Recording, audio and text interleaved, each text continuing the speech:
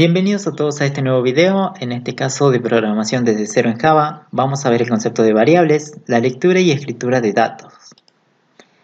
Vamos a ver el contenido, para esto vamos a ver qué es la clase main, los tipos de datos, las variables, cómo la declaro y cómo la inicializo la variable, qué son las palabras reservadas y los comentarios, la lectura y escritura de datos en Java y algunos operadores.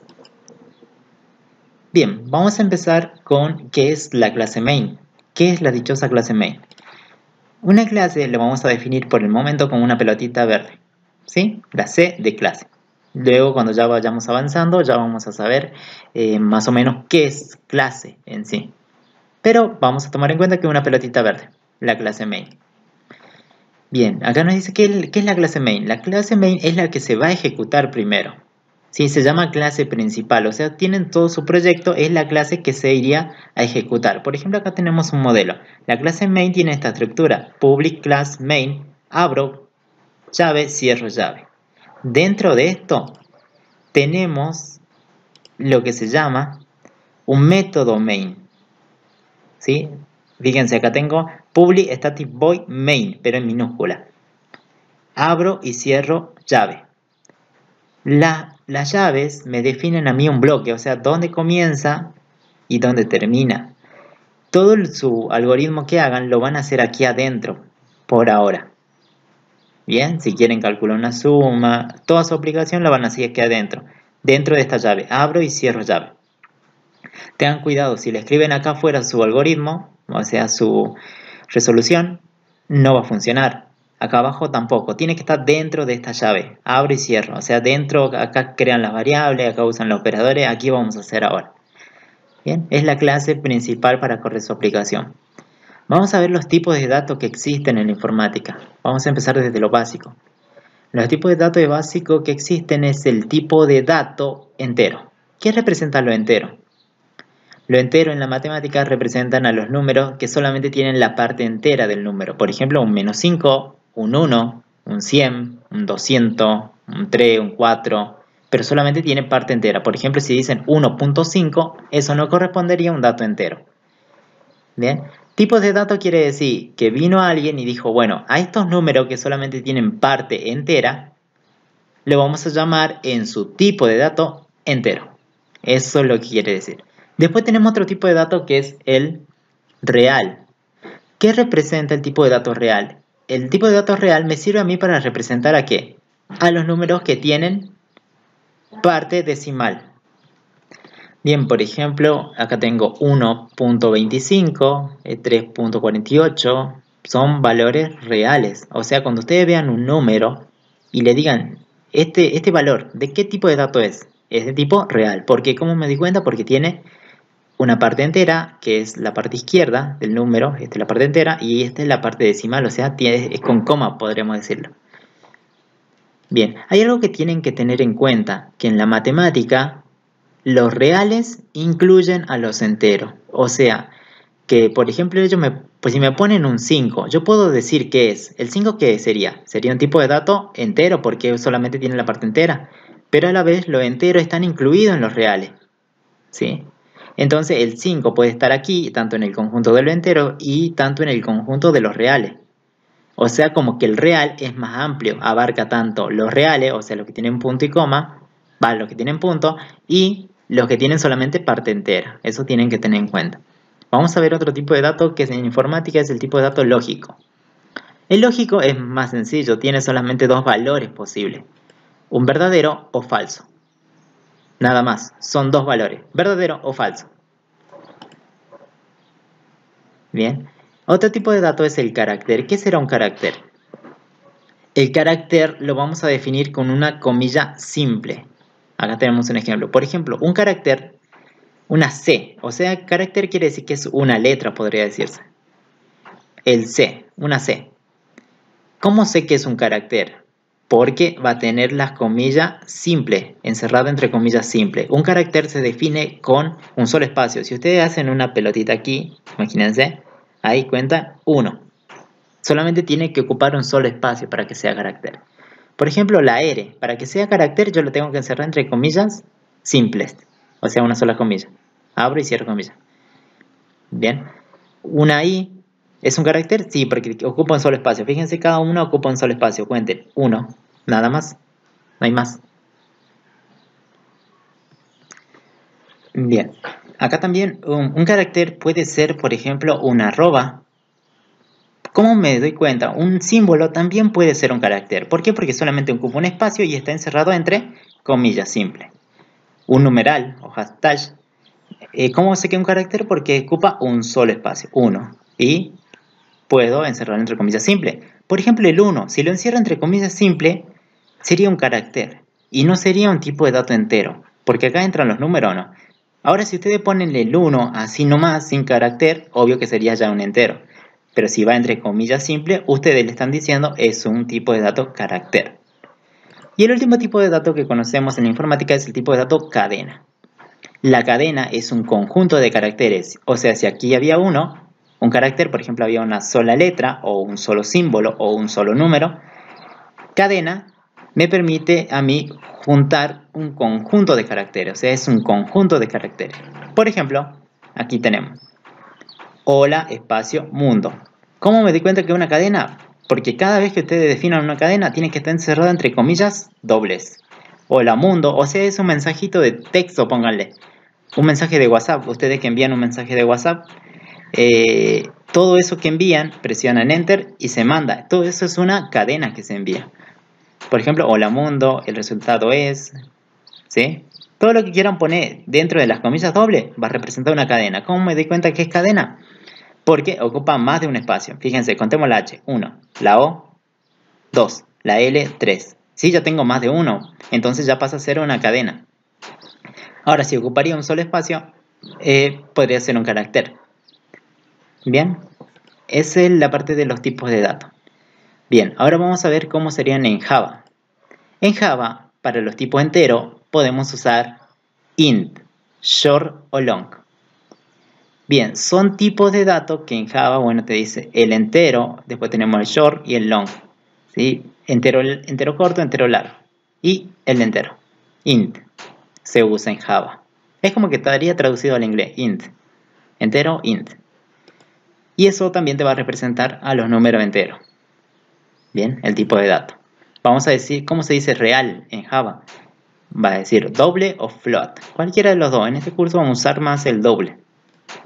Bien, para representar los puntos que tengan parte decimal. Ahora para el tipo lógico, verdadero y falso, vamos a usar boolean. O sea, cuando ustedes vean que un tipo de dato es lógico, van a poner boolean, que representa al verdadero y falso. En este caso, en Java se pone true y false. O sea, esto en inglés. True y false. Bien, un carácter. Los caracteres en Java, o sea, los que tienen solamente un solo espacio y que tienen una sola comilla, encerrado entre comillas simples, se llaman char. En tipo de datos va char. Y en los tipos de datos cadena que tenían comillas dobles y era un mensaje que ustedes quieran mostrar que sea lo que quieran escribir, va entre las comillas dobles, se llama string. El tipo de dato que corresponde a cadena es string. Bien, con eso ya sabemos estos tipos de datos vamos a manejar en Java. Vamos a ver qué es, qué es una variable. La variable dice que se puede definir como un contenedor. No sé si ven aquí las cajitas. Es como una cajita para guardar algo. Una cosa, ¿sí? La variable, fíjense el nombre, te dice, ¿qué significará variable? Varía, varía, dice. O sea, la variable puede contener algo, un valor, pero después pasado un determinado tiempo puede contener otro valor, diferente al anterior. Entonces como que puede cambiar de valor a medida que vamos ejecutando el programa. Luego otro concepto que tienen que tener en cuenta es las constantes. Las constantes no pueden cambiar a lo largo del programa. O sea, si ustedes crean una variable que es constante, ¿qué quiere decir constante? Que nunca cambia. Por ejemplo, el valor de pi. Bueno, esto después lo vamos a ver, ¿sí? Cómo sería una variable constante, cómo se la crea, ¿bien?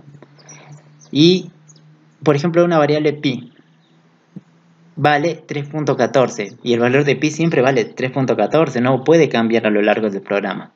Bien, cuando ustedes vean que una variable no va a cambiar a lo largo del programa, ¿sí? podría decirse que es constante. Generalmente, por ejemplo, pi nunca va a cambiar y no se tendría que cambiar porque con ese valor no más se trabaja. Bien, eso ya lo vamos a ver en la práctica. Bien, vamos a ver más el concepto de variable. ¿Qué, qué característica tiene que tener una variable? ¿La variable era una cajita o no? Que teníamos. ¿Qué característica puede tener la variable? Primero, tiene que tener un tipo de dato. O sea, ¿qué sería el tipo de dato? Es, si yo tengo mi cajita, yo quiero decir, ¿qué es lo que puede contener mi cajita? Por eso dice, che, especificarle un tipo de dato. ¿Sí? Esa es la primera característica. Tiene que tener un tipo de dato la cajita. O sea, si vos le decís que es para naranja, solamente esta cajita va a poder guardar una naranja. Si vos le decís que es para, para sandía, esta cajita solamente va a poder guardar sandía. Si le decís que es para celulares, guarda celulares. Bien, en este caso vamos a usar los tipos de datos que ya vimos en la en el, retroceder en el video y está en la parte anterior. Sí, los tipos de datos. Aquí va el tipo de datos. Que teníamos entero, doble, boolean, char, string. Y en otra característica es que tiene que tener un nombre. Como ustedes pueden crear las variables que ustedes quieran para resolver un problema, o sea, varias cajitas pueden tener, no solamente una, pueden tener varias. Tiene que tener sí o sí un nombre. ¿Por qué? Porque ustedes en la vida real, ¿qué pasa? Si ustedes tienen varias cajitas, guardan algo en una caja o no. Y después imagínense que ustedes tienen mil cajitas. Entonces, ¿cómo saben exactamente qué guardaron en cada una? Para eso ustedes lo van a etiquetar o le van a dar un nombre a la cajita. Esta cajita va a tener un nombre. ¿Para qué? Para que yo me dé cuenta qué es lo que guardé en esa variable. Y otra característica importante es que va a tener un valor, porque si tienen una cajita es para que ustedes guarden algo o no.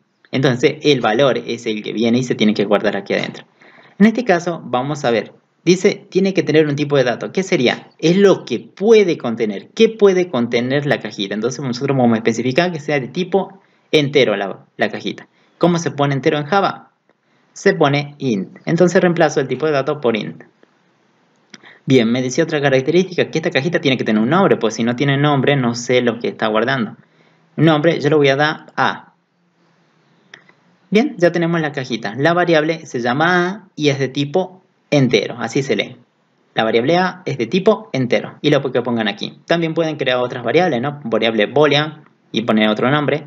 El nombre generalmente va asociado a lo que guarda la variable. Si le guarda un promedio, la variable se llama promedio. Si le guarda una suma, la variable se llama suma. ¿Bien? O pueden ser el nombre que ustedes quieran, x, y, z, mientras ustedes se acuerden qué es lo que guardaron en la variable. Bien, acuérdense, acaba el tipo de dato. ¿sí? Puede ser un string también, no habrá problema. Bien, vamos a ver el concepto de valor. Yo sé que una variable tiene un tipo de dato, tiene un nombre, ¿sí? en este caso habíamos definido hasta ahí. Pero ¿cómo yo le doy un valor? ¿Sí? Por ejemplo, este 4, este es el dato que tiene la personita. Imagínense que una pelotita de pool. Si ustedes juegan pool, cada pelotita tiene un número o no. En este caso, el 4, ¿qué tipo de datos representa? El entero o no, que era, en Java era int. Entonces, esto es un tipo de dato entero. ¿Cómo hago para esta pelotita que se meta aquí adentro de la cajita? O sea, que él la agarre con la mano y la meta aquí en la cajita. Para eso, vamos, esta acción de yo agarrar la pelotita y llevarla a través de esta flecha hacia adentro de la cajita es asignación. La asignación se hace con el igual. Bien, entonces a la variable nombre le estoy asignando, o sea, le estoy asignando, estoy haciendo esta acción un valor. En este caso el valor es 4. Le asigno, fíjense, ¿cómo sería la asignación en forma gráfica? Sería algo así. Ese valor viene y se deposita aquí adentro. Bien, entonces en valor, ¿cuánto valdrá aquí? ¿Cuánto tiene la variable? ¿Cuál es el valor de la variable? 4, porque tiene un 4 adentro, ¿no? Entonces aparecería un cuadro. ¿Cómo se lee esto? A la variable A le asigno 4. ¿Bien? o el 4 está asignado a la variable a, es lo mismo.